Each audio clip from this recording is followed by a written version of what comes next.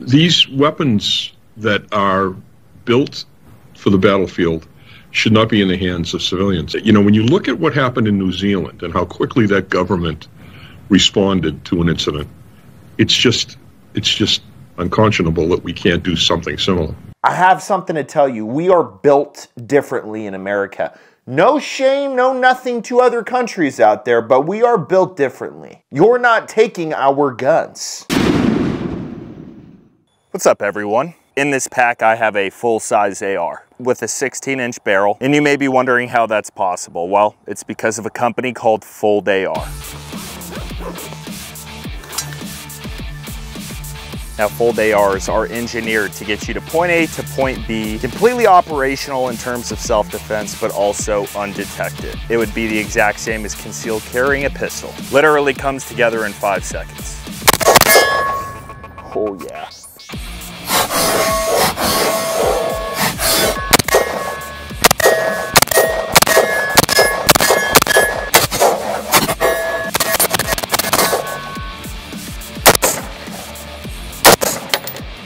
Literally can do it all. Now something that might be even a little more amazing than the fact that this thing can fold in half is they offer a lifetime warranty and also an accuracy warranty. So if something happens, you're taken care of and you've got that peace of mind. Before we even start this, if you love the Second Amendment, if you love America, if you love everything about it, and you believe that our rights as Americans should not be infringed on, this is the channel for you. Hit that subscribe button, the bell, join the family. We have fun here. So, gun confiscation, you say, huh? Let's see if you're about it. So, every time there is an advertised mass shooting.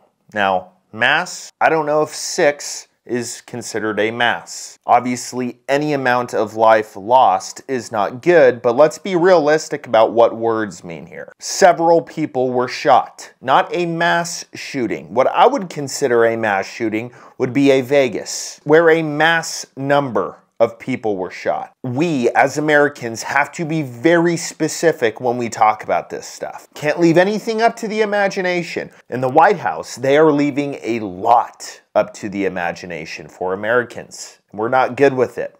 We're not happy. Listen to Karine Jean Pierre. Whatever happened to Psaki? I miss her a little bit. This chick's just as bad. President support not just banning the sale and manufacture of semi-automatic weapons, but further than that, confiscation. Let's let me just be very clear. What I like how you started with let me be clear, like you have any power here. Okay. We're talking about AR-15s, these assault weapons ban. They are weapons of war and they should not be on the streets across the country in our communities. They should not be in schools. They should not be in grocery stores. They should not be in, in churches. That's what the president believes.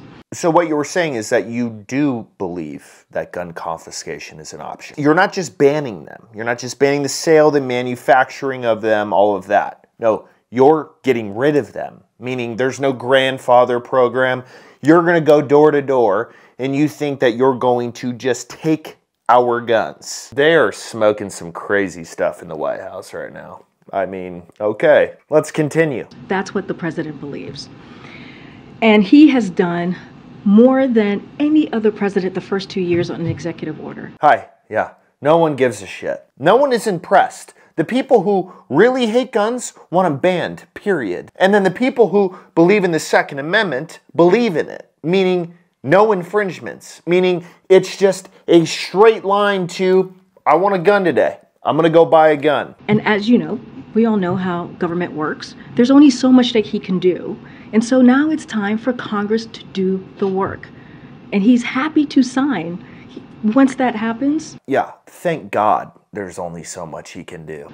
He's happy to sign that legislation that says, okay, we're going to remove assault weapons. We're going to have an assault weapons ban. Oh, wow, you actually said it. Okay. That's the great part about live TV. You try to catch yourself, but you literally said we are going to remove assault weapons. Assault weapons. It would just not happen. But let's listen to some other folks on it because some people just underestimate the hell out of Americans. All these people who are selling guns, they make a lot of money off of children's deaths, apparently, in this country. They're worrying about, you know, other people, books, baloney items. This, they will not do anything about it. By the way, Thank you, Joe Biden, for trying to, to put the, the ban on those assault weapons, which I should also point out that after a mass shooting in Australia in 1996, they enacted a man mandatory gun buyback and collected 700,000 privately owned guns. Mm -hmm. Yeah, you can buy back this. We're not selling our guns back. This is so stupid. America is painted as this freedom place, but if you're a law abiding citizen, you have to sell your weapon back because we're scared of what you can do with it. No, uh uh-uh. uh. And then we got this person named Randi Weingard, and she pretty much says that we need to confiscate Americans' guns. And how many lives will be shattered before we have the courage to do what Scotland did, what Australia did, what New Zealand did, what other great democracies do. Yeah, we don't really care what other countries have done this and what other countries gave into our government. So now that we got all of the uh, people who are like, oh, we're just to take their guns. Serious, how would you do it? And remember, it's not just our guns. I imagine you're going to start with the law abiding citizens, right? Because you think that we're going to be peaceful? Because you think that just because we're law abiding, we won't, I don't know, make sure that our constitutional rights aren't infringed on? That's a pretty big bet you're making there. So let's play make believe for a second because all of y'all that we just listened to are definitely doing that. Let's say that Biden passes a assault weapons ban and confiscation. How many people do you think are going to actually care? Seriously, do you think we're all going to be like, "Oh my god, wow, they banned our guns." I've been watching this guy case my house for the past 2 weeks. So I'm going to for sure give my guns back to the government and make myself a possible victim of this dude who's been casing my house. It's very simple. You will have to take all of them. This ain't Australia.